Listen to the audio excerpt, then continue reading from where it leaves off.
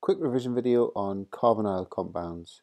So essentially we're talking about aldehydes and ketones which both contain the carbonyl group C double bond O.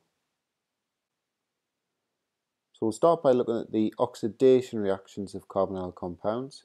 So only aldehydes are oxidized, ketones aren't, and these are oxidized to carboxylic acids. The oxidizing agent, represented by O in square brackets, is acidified potassium dichromate 6 and the acidified conditions come from sulfuric acid.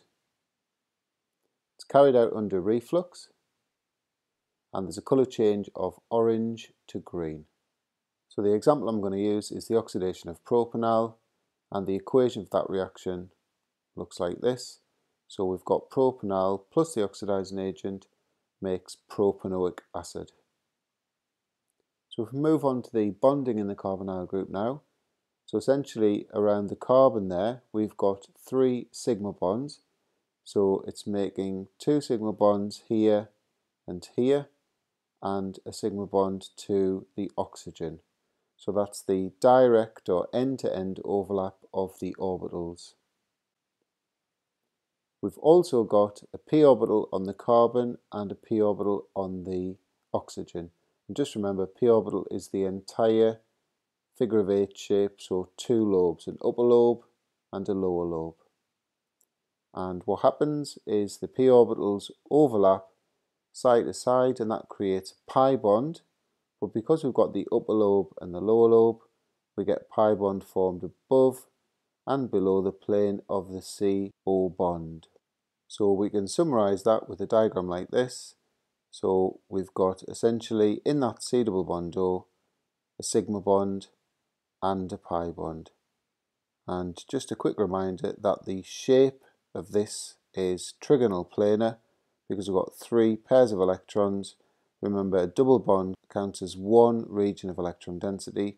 So three pairs of electrons all repelling equally giving us that trigonal planar shape and the bond angle of 120 degrees.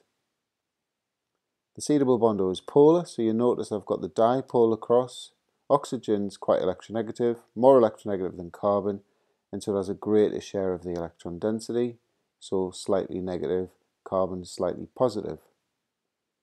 So because of that, the carbonyl bond is attacked by some nucleophiles, and a reminder there that they are electron pair donors and because we've got a double bond addition takes place. So the reaction that we're going to look at now is the nucleophilic addition reactions of carbonyls. So the first one we'll look at is the reduction reaction using NaBH4 followed by the addition of water.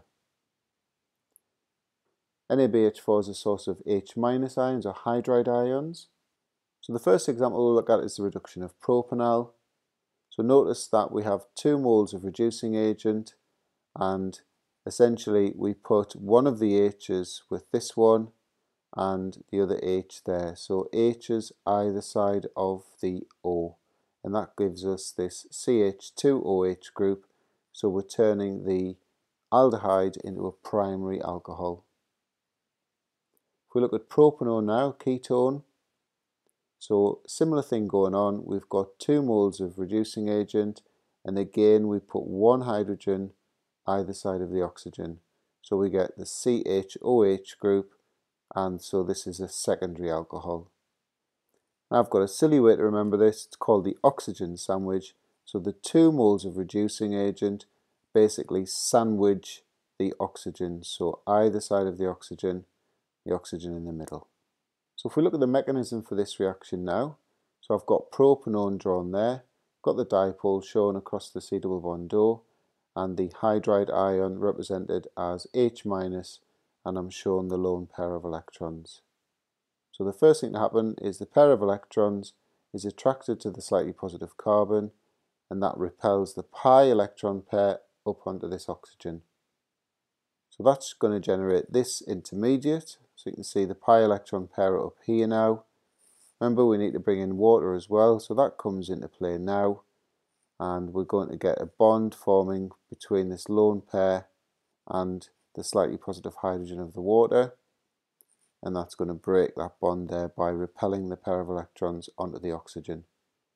And so the products are, in this case, we get the secondary alcohol and a hydroxide ion. And the nucleophile, the electron pair donor, is the hydride ion. So if we move on to the reaction with HCN now, hydrogen cyanide. Now, HCN is a very, very toxic substance so the carbonyl will be reacted with a mixture of sulfuric acid and a source of cyanide ions, so something like sodium cyanide. So the product that we're going to get is called a hydroxynitrile. So we'll use the example of propanal with HCN, but remember the HCN is formed by combining these two chemicals. So there's the reaction.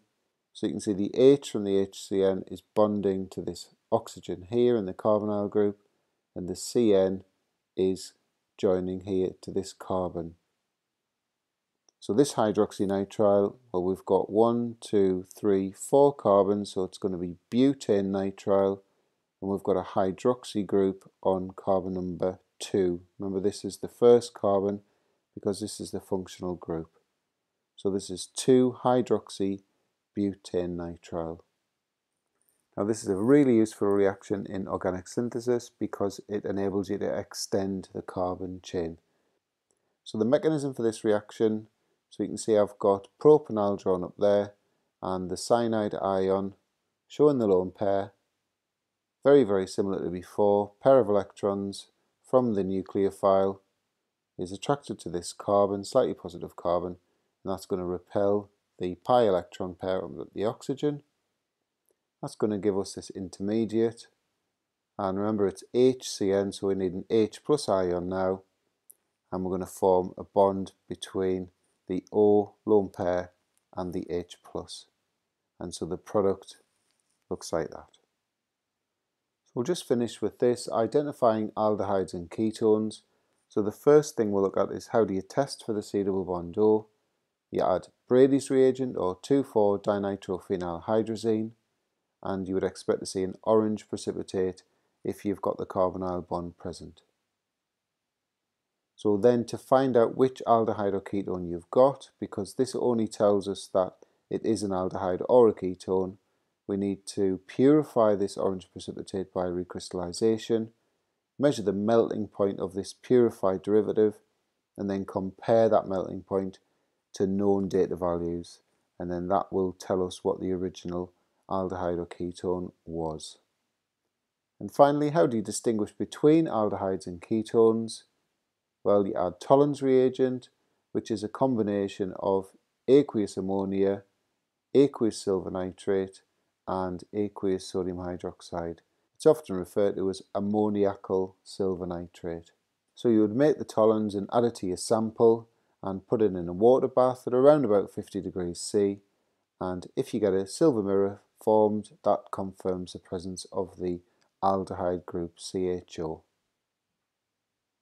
So the reaction's taking place, well the silver ions from the silver nitrate they gain an electron so they're reduced to silver atoms and that's the silver mirror and the aldehyde group is oxidized to the carboxylic acid group so an example we're going to look at is that for benzaldehyde.